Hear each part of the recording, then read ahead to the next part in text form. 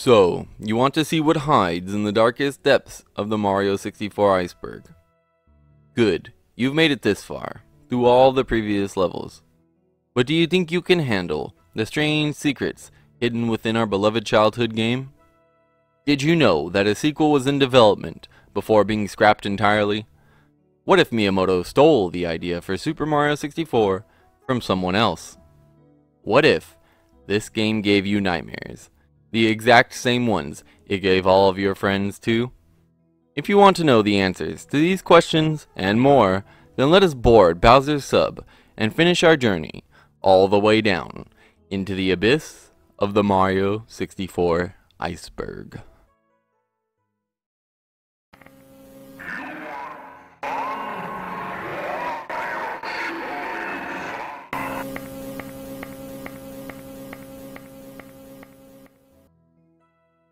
Have you ever wandered the castle, only to wonder to yourself why it was even designed that way, with all the hallways and rooms shooting off in odd directions that almost defy the structure you see from the outside? Was this on purpose, or did it just end up that way after the countless redesigns that led to the game's final version? It's a good question, because Super Mario 64 did indeed go through a number of versions before becoming the game we all know and love today. In the earliest versions we know about, Luigi was a playable character too.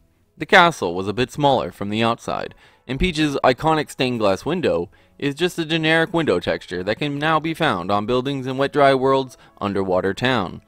The most drastic change, however, is the inside of the castle, where players inevitably end up spending most of their time in the game. The castle's beta interior featured a much darker color palette, platforms instead of stairs, and a less intuitive layout. We can only guess what the flooded basement section looked like exactly, since it seems that none of the promotional images sourced from the beta version showed it specifically, but it is considered a very important floor for the personalization AI lore. The tale goes that the basement was a testing ground for the personalization AI, a bit like a labyrinth that was changed by an eye in the sky of sorts, as the player played through the game, which could give insights into how the AI should personalize the overall game for that player. Diligent fans have noted that the castle does seem to have gotten a bit larger in the final cut, which, to believers of personalization, is evidence that the AI had only grown since the beta, to include more features with which to test players.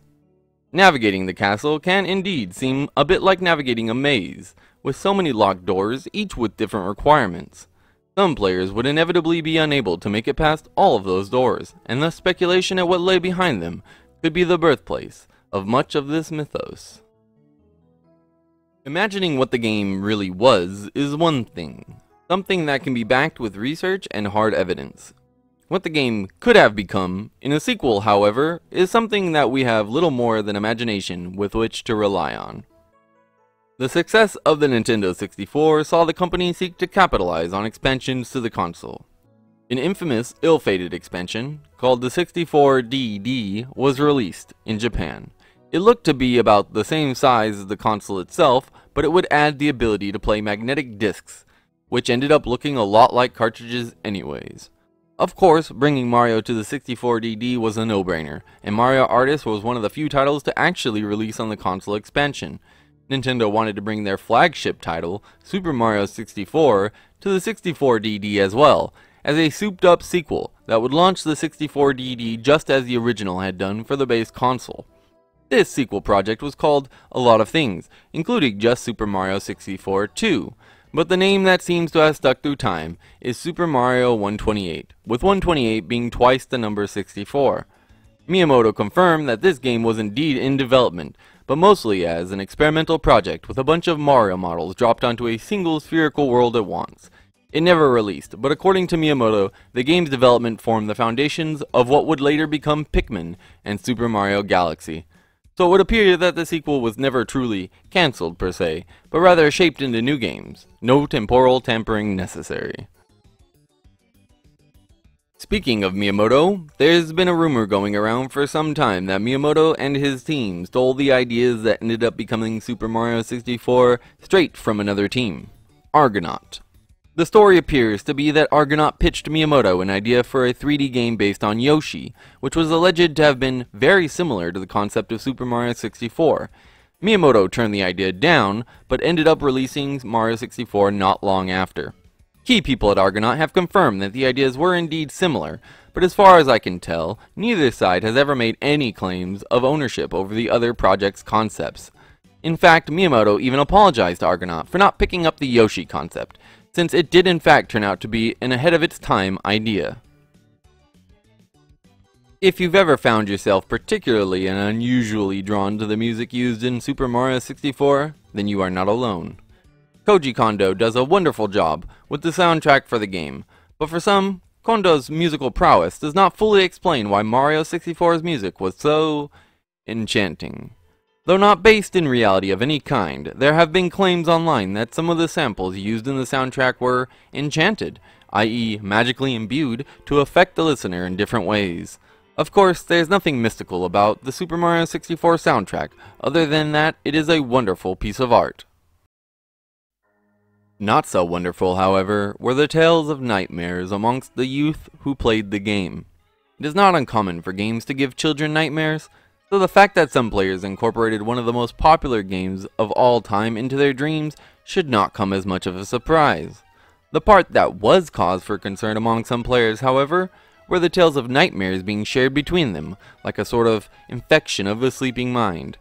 These days, the only stories of shared nightmares that remain from those times are those of Big Boo's Haunt, the spooky theme of which lends itself to such type of dreams, as well as beta versions of the penguins that found themselves on the box art for Frosted Mini Wheats back in the day.